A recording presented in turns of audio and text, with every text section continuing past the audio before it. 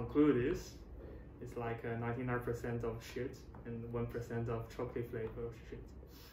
Hello everyone, good evening. This video is regarding the candidate with Tongxin Chen from Shanghai. He started his PhD at very young age of 22 years at prestigious University of Oxford and now he has joined Institut Jean Lamour France as a postdoctoral researcher. What I loved about this chat is his honest answers. In the following sections of this video, he will share many important things regarding the PhDs and the most important thing is that why he regret that he did PhD. I hope it will be very useful to someone in some corner of this world who is streaming to pursue PhD from a reputed university. So my name is Tongxin Chen and I come from Shanghai, China. So I, I, I'm a postdoc now working in IJL and I'm mainly working on the 2D materials and the spintronics.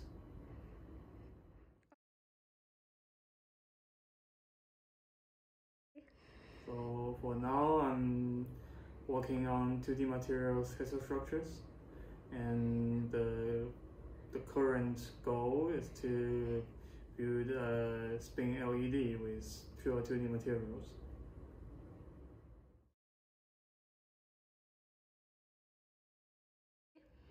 Yeah, to be honest, I don't know how. I mean, I just apply for the for the PhD when I yeah by at the during at the end of my like uh, bachelor degrees and I apply for the Oxford and I take the interview and then my supervisor just told me you can So you got admission after your bachelor or master degree? the bachelor. Okay, so it was direct PhD?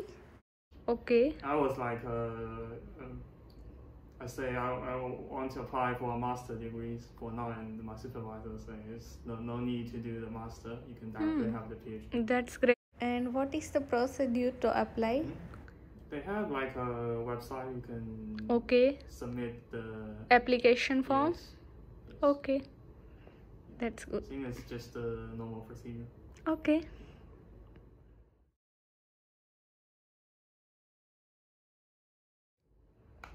Yeah, so my PhD topic is on the fabrication of 2D materials with the CVD method and also making the photo electronics uh, with these 2D materials by stacking them to make the heterostructures.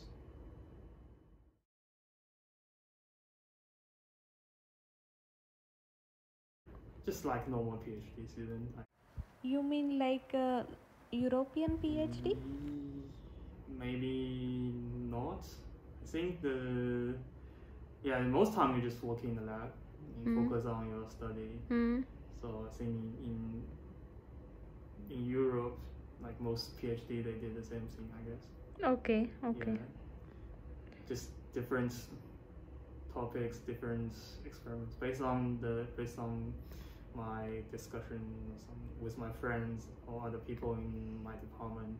We basically just live like a normal PhD student. Okay. So you have courses or examinations to take? In UK, we don't have, at, at least in Oxford, we don't have these examinations. You have That's the benefit. Yeah. That's the benefit. Uh, to me, not because I don't take the master degrees. So when I start my PhD, I realized that I have some, I need to learn a lot. I have some problem with my Okay. background knowledge and also experience in doing the PhD. So this is uh, actually, I don't think it's very bad, good to to me. Okay. I, I realized that for those who take the master degrees, they perform better, much better. Okay, so I get it. So when you get admission in PhD, you were very young. 22. Yeah, yeah, yeah, yeah. That's good.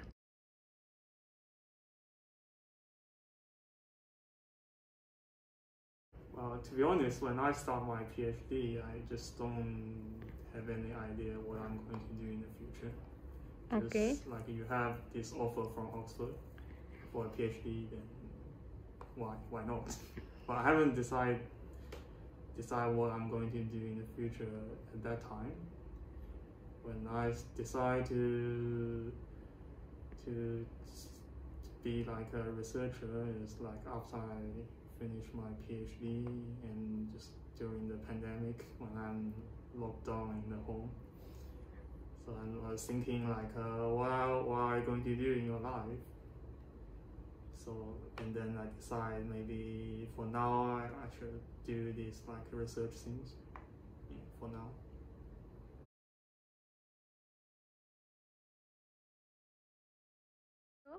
Well, to me, the first culture shock, or maybe I don't know whether it can be a culture shock.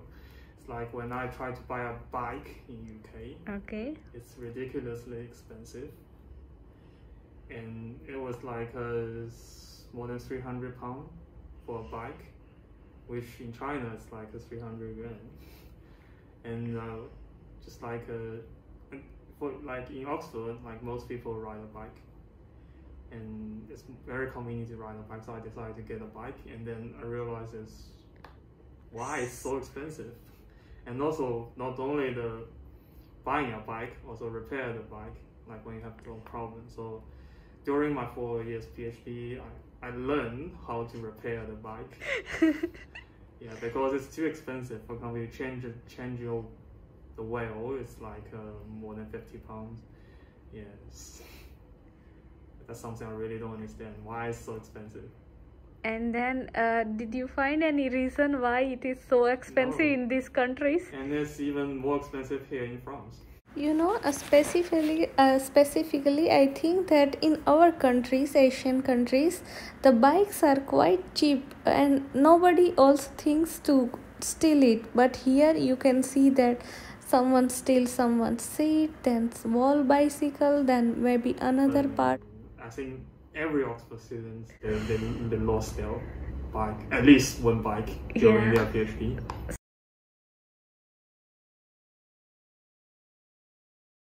Okay. Saying this for this for me personally, I don't really mind which country I end up in. So, but I think for most Chinese students or researchers, I think the problem is like living abroad. Like the language and also the culture. I think mainly it's the language. So, for example, for your Indian, you can, you can speak English. It's it's like your daily life. You can speak English.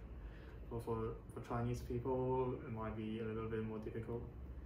Yeah. Also, the culture is very. The culture between EU and in Asia is very different. Yes. It's, and it's like uh, you need to how to say change you a little bit to become like a social guy or this kind of thing to make friends to to join other people's like uh, small groups these kind of things but I think it might be difficult for Chinese people because the culture is so different Okay. yeah. We like I think in EU the people are more like outgoing, but in China like no, no.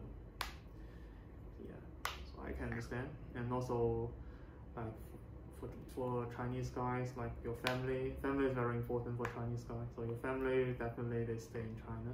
Okay. So most people decide to go back to China, and also most of your friends, they, they will live in China. So, it's more comfortable for Chinese people to stay in China. While in other countries, they, they, they it's very difficult to get used to all this difference. Okay, and how about the research activities in China? Do government promotes the research? So the Chinese government they, they provide a lot of fundings. So and they think the salary nowadays if you want to go back China and to, become like a PI or or start like to establish a group or become professor in the university or the institute research institute that they the, the pay is very good and there's a lot of opportunities, a lot of fundings. Yes. I think that's why like it's like a like the it's booming. Actually. Okay. So the research, so it's a very good opportunities. A lot of positions. So yes. And how's the scope for foreigners in China in research field? Actually, I don't know. You don't know? Okay. don't but I know it's like they're comparing to like uh, ten years ago. So like more and more, I can see more and more foreign students in Shanghai Okay. Than ten years ago. So yeah, I guess they are now like most universities they now accept foreign students. But for details, I don't know. Okay, okay, no problem. Because you have been out of the country for many years, Yeah, right? yeah, yeah. Yeah, yeah, yeah. Okay. well. So I think the the main funding source is the CSC. I think uh, like a lot of PhD students or master student, exchange student, they, they get the funding from the government, the CSC. Yeah, cover the your uh, the tuition fee and uh, living costs. Yeah, so playing computer games, yes. Okay. It's like uh, something you, you have you're very stressful, so you need something to release the stress. To me, it's like uh, like to playing games with my friends, so computer games basically. So I think I spend a lot of time doing that. Okay. My the life of PhD.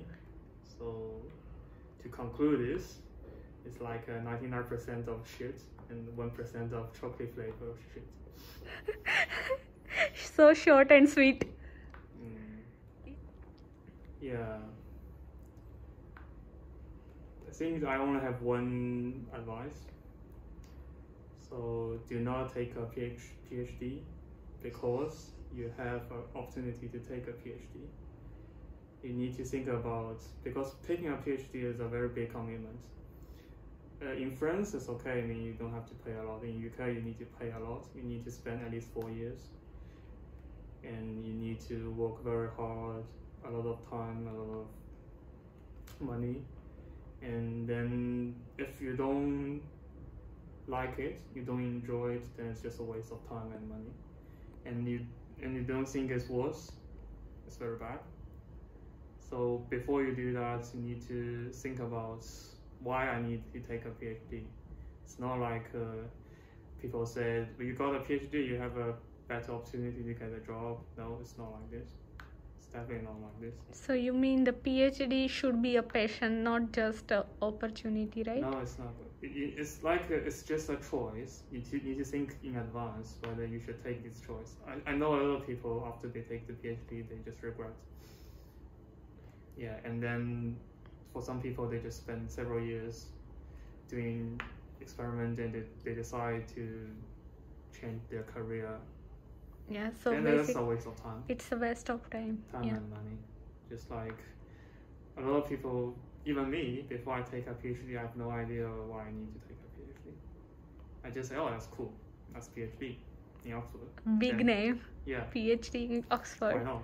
And then, yeah, then I see a lot of people regret doing the PhD, and even me sometimes. Yeah. You need to think in advance why you need a PhD, what career you want to make. So sometimes you regret that why you did the PhD, right? Yes. Okay. Of course. Okay. So now also as a postdoc. Yes. Okay. Sometimes. So yeah, this is very honest answer. I like Yeah. it. Yeah, normally all time research researchers say we are fascinating about this thing. We love ah, science. We love lies. physics. Yeah, well, lies. yeah. So yeah, Doing, I doing science, you have a lot of like uh, bad emotions. yes. okay. Just pretend to be good. So now. Oxford University student is saying I am regret sometime. Well, everyone regrets. Yeah. Everyone regrets. It's human nature. No problem. Yeah, but uh, yeah, yeah, this is also one good advice. At least we are regretting, but others others should not regret.